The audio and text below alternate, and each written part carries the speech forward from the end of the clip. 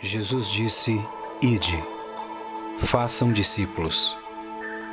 E se ide parecesse menos com um culto entre quatro paredes e mais com uma comunidade que espalha a santidade bíblica por toda a terra. E se fazer discípulos parecesse menos com shows e apresentações e mais com uma comunidade missionária a serviço do povo.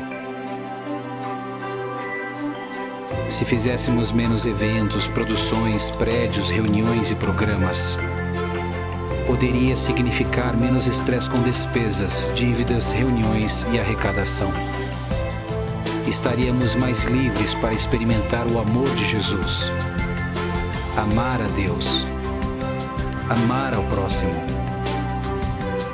libertar os cativos, liderar servindo uns aos outros, enviar missionários e missionárias por toda a terra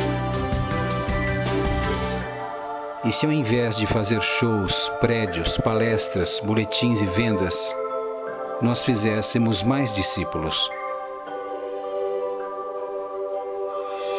Como Jesus fez, como Paulo fez, como os apóstolos fizeram. Essa é nossa missão.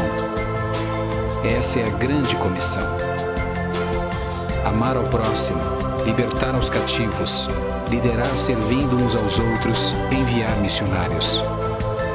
Isso é discipulado.